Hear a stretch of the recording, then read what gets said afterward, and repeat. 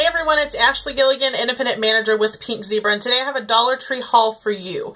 Everything I purchased at the Dollar Tree um, was stuff that I could use for my Pink Zebra business, and you guys know that I love to share my ideas and the finds that I find for my Pink Zebra business, so here I am. Um, I'm just going to go ahead and jump right into this. So the first thing that I found were these cute little wire round baskets, obviously just a dollar at the Dollar Tree, and what I plan to use um, these for is the little gift baskets. I made a video um, on this actually right before this video, so that's going to be going up before this one, so it should already be on my channel by now.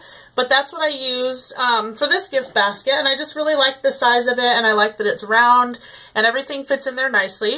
Um, and then inside the gift basket, I got the little um, decorative shred paper, and that's just hot pink. I also purchased some white, and I have some light pink, and again, that's only a dollar. Um, and then to wrap my gift baskets up in, I found, like, this was really exciting to me, um, these two-pack of basket bags. And it comes with the little twisty tie um, to kind of wrap it up, and it shows you, you know, everything on the side. Um, it's pretty self-explanatory, so it cracks me up that there's actually instructions how to use this. Um, but I thought these were perfect because a lot of times I will buy the cellophane on the roll, kind of like wrapping paper, and it's just a pain in the rear. So these are perfect. They're just bags that you can just slip it down into and tie it off with a ribbon and twine or whatever, and you're good to go. Um, third thing is, this isn't something that I purchased recently, but it does come from the Dollar Tree, and they're these little cute um, candle holders. Now I know that this is not really a Pink Zebra approved um, candle holder, but they do fit the Essential Glass candles really nicely, so I figured that I would just mention it in this video. Um, I don't see any reason why we shouldn't use this, to be quite honest, because it is just metal and it does hold the candle. Um, but also another cute touch is um, it just makes a really great like little decoration if you wanted to wrap this up in like a goodie bag or something or cellophane. Um, it just looks nice to present the sprinkles that way. So that came from the Dollar Tree. Um, I actually didn't purchase it. I actually bought a bunch of them from a consultant that resigned that used them for the purpose that I just told you. So there's that.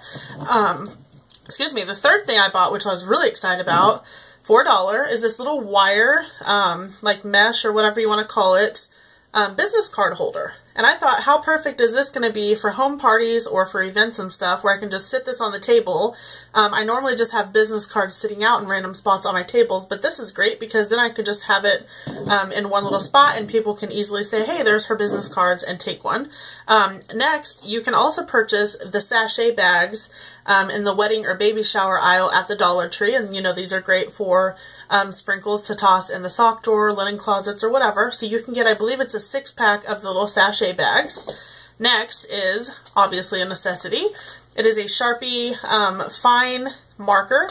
Only a dollar. Um, I don't know how much these are at like Walmart and stuff, but I can't imagine it would be only a dollar. I think it would be like a dollar something.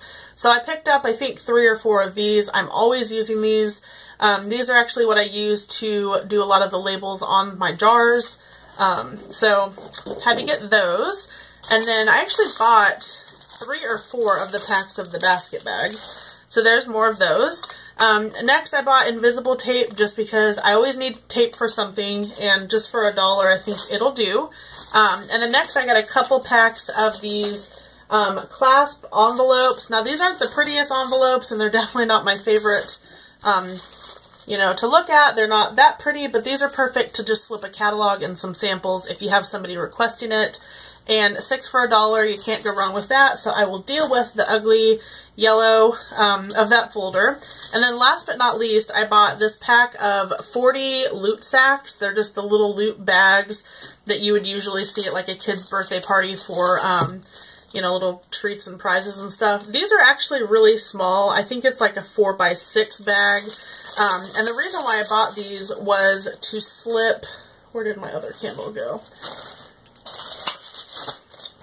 I bought it to slip the candles from my little gift bags into, but as you can see here, it's just too short and there's not enough slack up here to actually tie it off. So I thought of this idea um, which I think is going to be pretty neat for events and stuff, to use them to hold a business card and a sample. That way, if somebody comes up to my table and requests a sample, or I see that they're kind of interested, but they don't make a purchase, I can just hand them one of these little goodie bags. Um, and the presentation of it is really cute. And instead of, you know, stapling the sample to my business card and ruining the business card, I figured this was a lot easier. So that's everything I got from the Dollar Tree recently. Um, comment below and tell me what you use for your direct sales business from the Dollar Tree. I'd love to know. Um, as you already know, when you are running a direct sales business and when you are doing your own business, um, it takes money to make money. So all this stuff here is tax deductible. I'm going to save all the receipts um, from this purchase and then for next year's taxes I'm going to be able to claim that as a deduction. So don't forget to save your receipts and I hope you guys liked this video. If you did, give it a thumbs up. Make sure to hit the subscribe button if you are new and I will see you guys in my next video. I've got a lot of really great ideas coming up so keep an eye out for those videos. Thank you guys for watching and I will talk to you guys later. Bye.